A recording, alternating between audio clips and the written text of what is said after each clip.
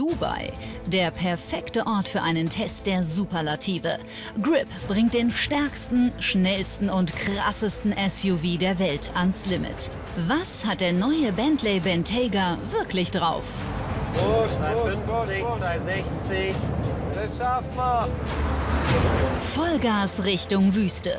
Schafft es der Bentley durch die Schlucht des Teufels? Du kannst dich überschlagen. Überschlagen? Ist der Bentayga tatsächlich der Super-SUV? Du musst mir ein Angebot machen. Okay, 1,5 Millionen Dirham. 1,5 Millionen? Bentley baut zum ersten Mal ein SUV. Vor der Markteinführung darf Matthias ein ultra seltenes Vorserienmodell testen. Dieses Auto ist ein super Luxus-SUV und eigentlich müsste der hier sehr, sehr gut ankommen. Es gibt noch kein einziges Fahrzeug, was in Dubai verkauft wurde. Ich habe das einzige Auto unterm Hintern, was es hier gibt. Und das hat es in sich. 608 PS, 12 Zylinder, über 300 km/h schnell. Kurz, der Bentayga ist ein Muskelprotz vor dem Herrn und richtig teuer. Los geht's bei 208.000 Euro. Dieser kostet eine Viertelmillion. Nein, bitte fahr mich keiner rein. Das Auto soll so bleiben, wie es ist. Das ist auch Dubai, ne? Ja, ich kann auch hupen. Ich bin aber als Erster wieder weg hier. Tschüss. Boah, Alter, wie der anschiebt, das ist nicht mehr normal, ne?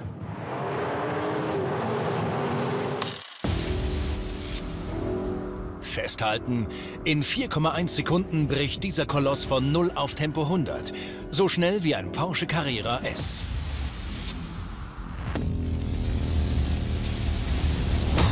Downsizing spielt bei diesem 5-Meter-Schiff auf 21 Zoll Schlappen absolut gar keine Rolle. Der aufgeladene 6-Liter-Motor folgt dem Motto Hubraum ist durch nichts zu ersetzen. Im noblen Salon sind natürlich nur die feinsten Materialien verbaut. Auch wenn es Matthias nicht glauben will, hier sind die Schaltwippen aus dem Vollen gefräst.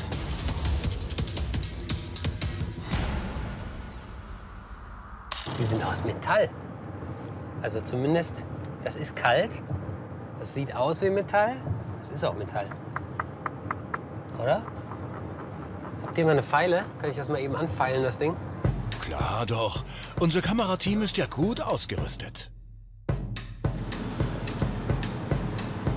Das ist wirklich aus Metall. Das wäre also geklärt. Angeblich soll der Bentley über 300 Sachen laufen. Schneller als jeder andere Geländewagen. Ich will jetzt aber echt mal 300 fahren, ne? Könnt ihr mal alle weggehen? Matthias fährt zum sogenannten Highway der Tuner. Hier ist er mit Mattia Bellussi verabredet, einem Extremtuner. Der deutsche Italiener schraubt exklusiv für die arabischen Herrscher und quetscht aus den sündhaft teuren Supersportlern noch mehr Leistung raus. Mattia hat beste Kontakte.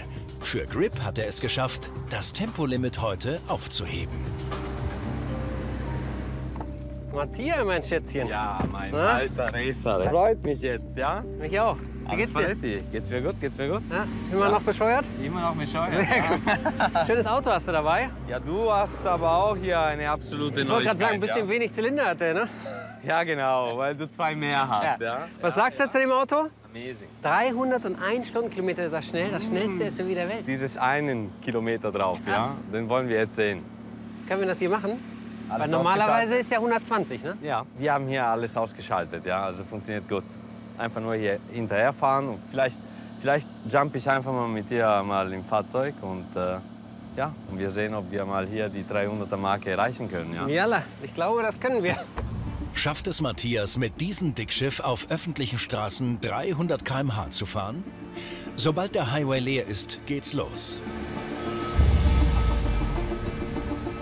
Die 300 das schaffen wir bestimmt nicht. Die ist wirklich Ahnung? Ja, jetzt mal sehen, ja. Das Ding ist schwer, groß. 4,1 auf 100. Pass auf. Vollgas. Wow. Merkst du, dass wieder sich reinkrallt und bam, da sind die 100 schon. Amazing, amazing. 120, 130, 140, 150, Pull, pull, 160. pull, pull, pull. 25 Kilometer ohne Speedlimit. Freie Bahn für den Bentley. 220. Plötzlich muss Matthias in die Eisen steigen. Guck mal da.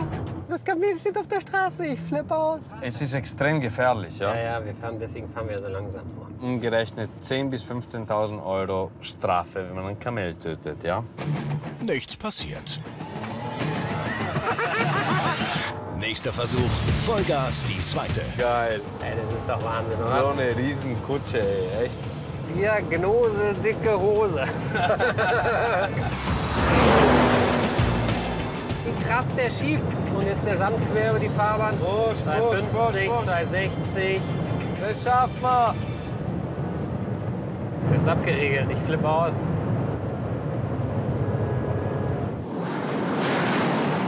300 fährt nur die Serie.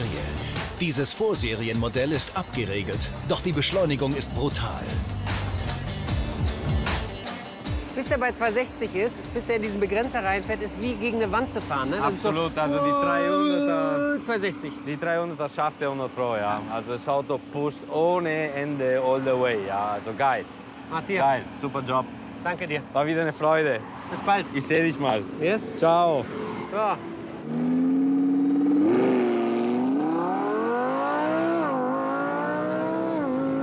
Doch das war nur der Anfang. Das hier ist der letzte Kreisverkehr, bevor wir den Asphalt verlassen. Jetzt wird's richtig krass. Was hat der Bentayga im Gelände drauf? Matthias fährt mit dem Edel-SUV in die Wüste zum Extremtest. Er will mit dem Bentley eine berüchtigte Megadüne hochklettern. Eine Challenge, an der sogar reinrassige Geländewagen scheitern. Ist der Bentley wirklich Offroad-tauglich oder geht er hier unter? Matthias ist mit einem Wüstenprofi verabredet. So, also mein Kontakt ist noch nicht da, aber das macht nichts. Wir können schon mal mit Luftdruck anfangen. Wir müssen den nämlich oh, einen Tacken runtersetzen. Ich mache das jetzt mal so ein bisschen Pi mal Daumen. So hat der Reifen mehr Kontakt zum Untergrund. Das ist wichtig, um im tiefen Sand überhaupt vorwärts zu kommen. Falls der Bentley stecken bleibt, müssen 2,4 Tonnen freigeschaufelt werden. Mitten in der Wüste. Ich meine, das sieht doch schon mal ganz nett aus hier, oder? Kann man uns doch mal ein bisschen warm fahren. Übrigens, Matthias ist kein Offroad-Profi. Alter, ist das hoch. Wenn ich mich jetzt festfahre, ne? Das wäre nicht so gut. Matthias Taktik? Einfach Vollgas geben. Den Rest übernimmt der intelligente Allradantrieb mit speziellem Sandprogramm. So kann nichts schiefgehen. Zumindest beim Warm-up. Boah, Alter, das ist ja krass. Voll den Schnee übers Dach gepfiffen. Mit 2,4 Tonnen auf den Rippen ist der Bentayga zwar kein Fliegengewicht, doch am Steilhang ist davon nichts zu spüren. Hey, dieses Teil macht so einen Spaß. Ich flippe komplett aus, ey. Das könnte ich den ganzen Tag machen. Das macht viel mehr Spaß, als 300 zu fahren.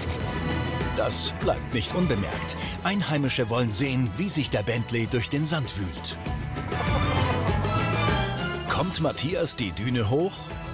Ja, ja, komm, komm, komm, komm, komm, Baby, komm. Ja, hoch. Der wühlt sich hier hoch, das ist ja unfassbar. Was piepst du?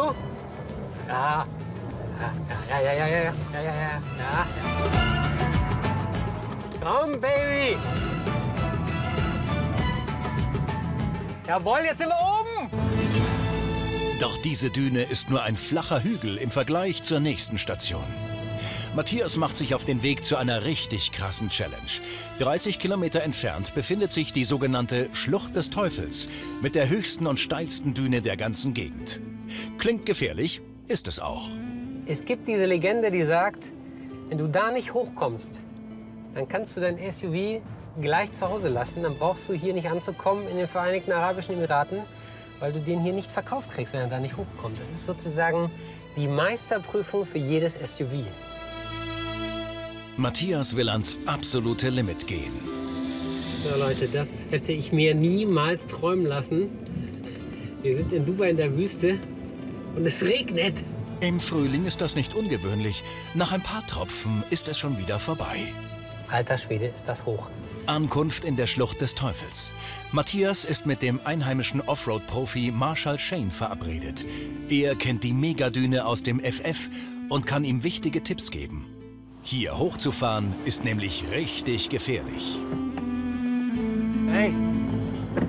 Schön, dich kennenzulernen. Hi, wie geht's dir? Ja, gut, aber ehrlich gesagt, wenn ich das hier sehe, kriege ich ein bisschen Angst. Es ist sehr steil. Steil? Ja, der Aufstieg ist sehr steil. Viele Autos schaffen das nicht. Und es ist sehr gefährlich. Du kannst dich ganz schnell überschlagen. Überschlagen?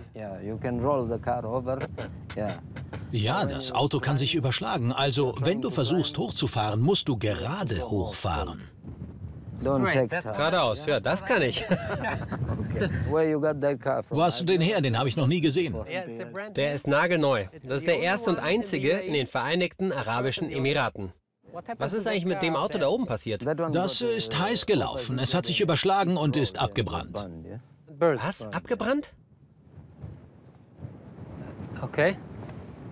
Und da sind noch mehr Autos hinter der Düne. Noch mehr? Ja, da sind noch zwei. Okay. Die Besitzer schlachten gerade die Wracks aus. Wie es zum Brand kam, klingt unglaublich. Diese Geschichte mit den zwei abgefackelten Autos ist wirklich Wahnsinn. Der erste, der da stand und gebrannt hat, ist da hingefahren, hat sich festgefahren, irgendwie hat sich versucht, wieder rauszubuddeln. Äh, dabei hat er einen Motorschaden erlitten. Und dann hat die Kiste halt einfach Feuer gefangen. Feuerlöscher war nicht an Bord. Dann haben sich aber die Kumpels gedacht, pass mal auf, wir schaufeln den jetzt mit Sand zu, damit der nicht komplett ausbrennt. Ja?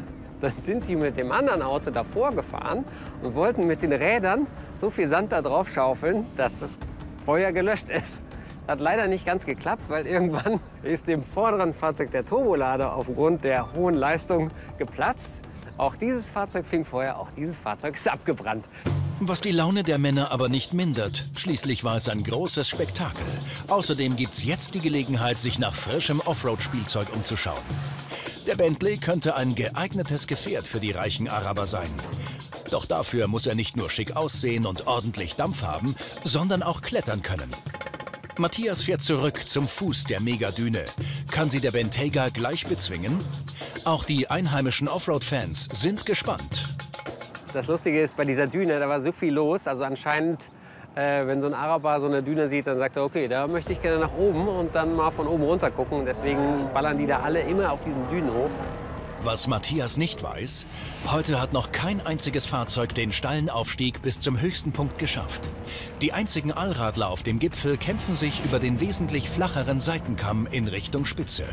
Immer wieder setzt Nieselregen ein. Das macht das Fahren im Sand heute besonders tricky. Auch Offroad-Profi Marshall hat es bisher nicht geschafft, den Hang hochzufahren. Boah, springt aber ordentlich. Marshall probiert's immer wieder. Das sieht nicht gut aus. Keine Chance. Immer wieder rutscht der Einheimische am Hang weg. Sein Pickup ist übrigens auf einen bärenstarken Ami V8 umgerüstet, doch das nützt ihm diesmal gar nichts. Marshall muss abbrechen bin ich ja mal sehr gespannt, was ich da mit meinem Bentayga mache. Auch der nächste scheitert. Dieser Pickup steckt an einer gefährlichen Stelle fest. Matthias darf die Ideallinie nicht verlassen. Okay. Viel Glück. Danke. Ich schau dir von hier zu. Ja. Halt schon mal den Feuerlöscher bereit. Hoffentlich nicht. Um überhaupt eine Chance zu haben, darf Matthias nicht zu viel Gas geben. Sonst wird auch er stecken bleiben. Noch schlimmer, wenn der Bentley quer steht, kann er sich überschlagen. Hoch, bitte hoch. Bam! Wenn du hier gerade hochfahren kannst, muss das Auto sehr gut sein. So geht das. Gut gemacht. Er hat's geschafft und er fährt noch weiter. Krass. Wahnsinn. Alter, wo bin ich denn jetzt? Unglaublich. Der Bentayga hat es tatsächlich auf die Spitze der Megadüne geschafft. Dort, wo heute reine Offroader gescheitert sind, ist der Bentley als einziges Auto hochgefahren. So. Gut gemacht. Gut, oder? Es war wirklich sehr gut. Er hat offiziell bestanden. Also dann kann ich es jetzt verkaufen, ne? Okay. Ja, das wirst du bestimmt. vielen, vielen Dank für alles. Bye, bye. Bye, bye. Nach dem Performance-Check auf dem Highway hat der Bentayga auch die Bewährungsprobe in der Wüste bestanden. Allradantrieb und die 608 PS-Maschine leisten ganze Arbeit. Zurück in Dubai City. Am Abend erwacht hier das Leben. Dann fahren die Leute nach der Hitze des Tages ihre Autos spazieren. Das Motto sehen und gesehen werden. Matthias macht mit und checkt, ob sich die Menschen nach dem neuen und 200.000 Euro teuren Bentayga umdrehen. Das war jetzt mit dem Bentayga doch schon ganz schön krass, weil die Leute echt geguckt haben. Also das war nicht so wie mit einem, weiß ich nicht, mit so einem krass lackierten Ferrari oder so, dass wirklich alle Leute sofort Handy raus und tak, tak, tak. Aber du hast immer gesehen, in den Autos immer so, Die Ausgemeile The Walk. Hier ist Posen angesagt, also Fuß vom Gas und auf dicke Hose machen. Das kannst du, Matthias, oder? Dubai Live. Achtung, Rolls-Royce von links. Mit ein bisschen Partymusik.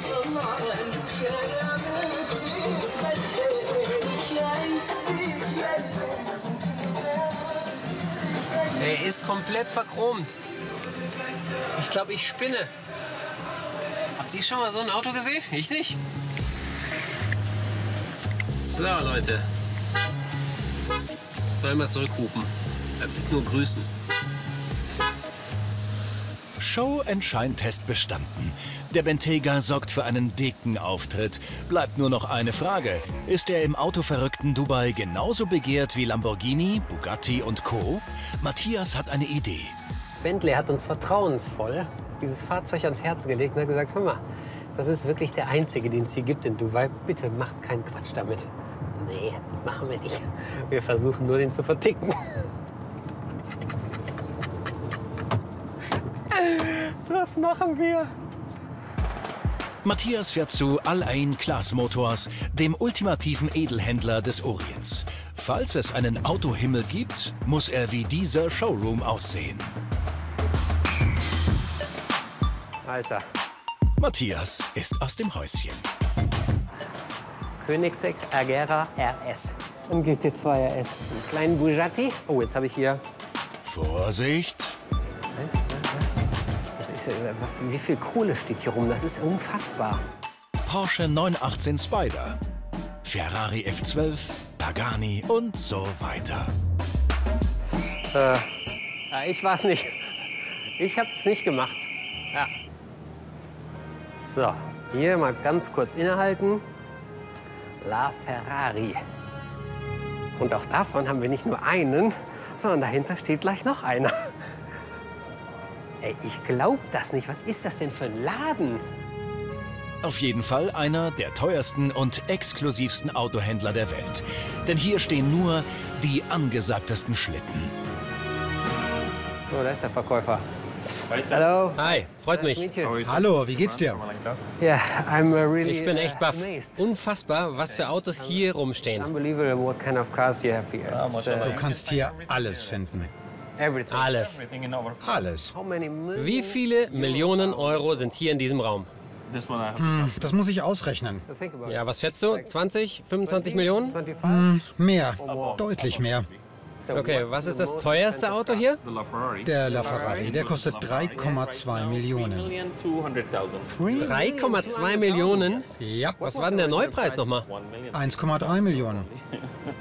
Wie läuft das jetzt ab, wenn der Kunde sich den LaFerrari anschaut und ihn kaufen möchte?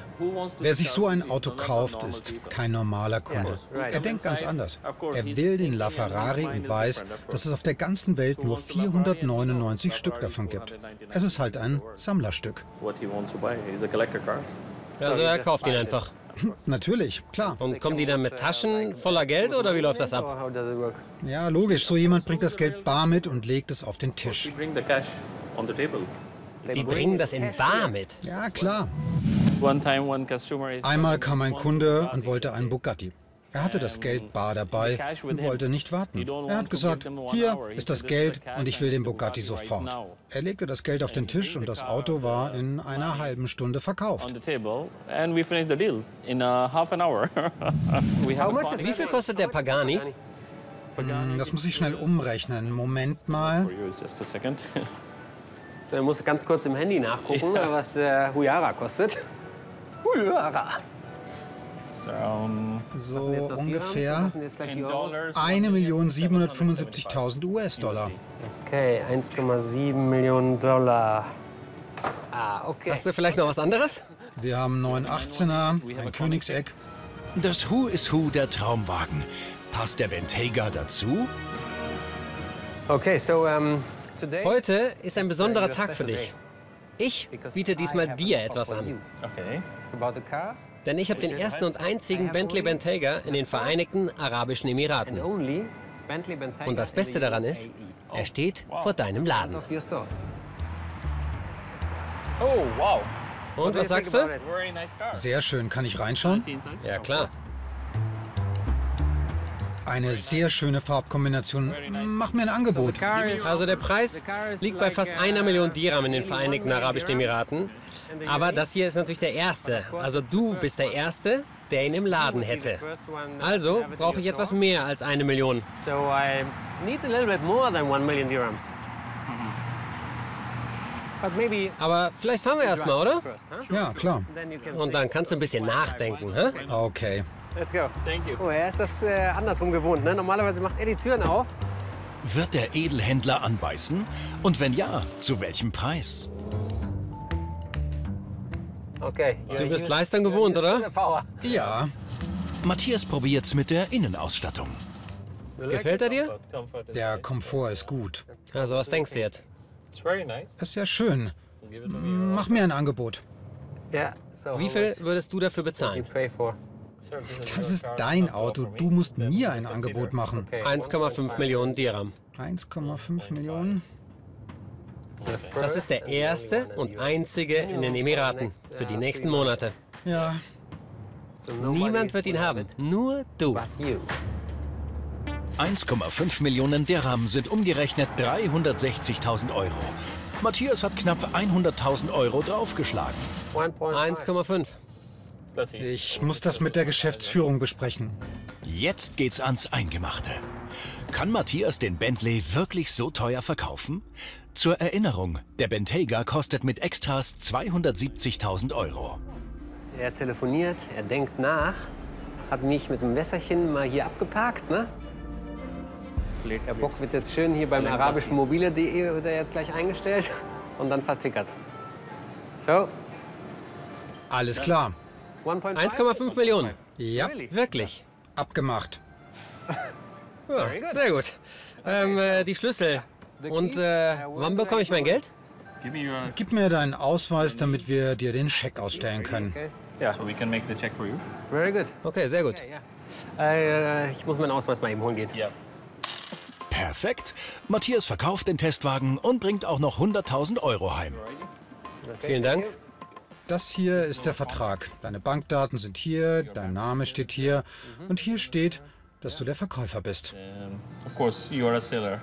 Ich bin der Verkäufer. Du musst zuerst unterschreiben. Ich unterschreibe hier. Gutes Geschäft. Vielen Dank. Bis zum nächsten Mal. Ja, tschüss. Bye. Ich flipp aus. so, der Bentley ist weg, ne? Kein Wunder, denn der Bentayga ist tatsächlich der krasseste SUV der Welt. Matthias muss jetzt Taxi fahren. Übrigens, Bentley hat sich den Testwagen zurückgeholt. Schließlich wollen noch andere TV-Teams den Bentayga testen. Deshalb ist er unverkäuflich. Und der Händler hat sein Geld wiederbekommen.